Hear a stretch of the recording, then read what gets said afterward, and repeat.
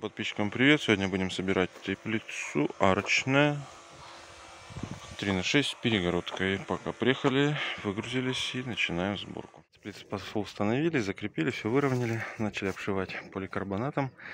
Накинули листы. Сейчас добьем листы, сделаем форточки, двери, все прокрутим и теплица будет готова. Завершился у нас монтаж. Напоминаю, строили сегодня теплицу.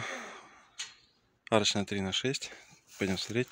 Дверь с форточкой с одной стороны, с другой тоже дверь форточка. Перегородка пополам, глухая, делит теплицу. Есть коньковые фрамуги, две штуки в каждом отсеке по одной. Стоит все на брусе.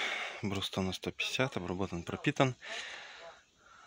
Тут больше не бруса. Из доски клиент подготовил основание. Получилось тонна 150. Каркас сделан с профильной трубы 20 на 20, покраска полимерно-порошковым способом, цвет шоколад. Поликарбонат у нас здесь 4 мм, плотность 0,75. Все торцы защищены торцевым профилем. Вот такая отличная арочная, очень красивая, аккуратная теплица получилась. А у меня на этом все. Ставьте пальцы вверх, задавайте вопросы. Всем пока.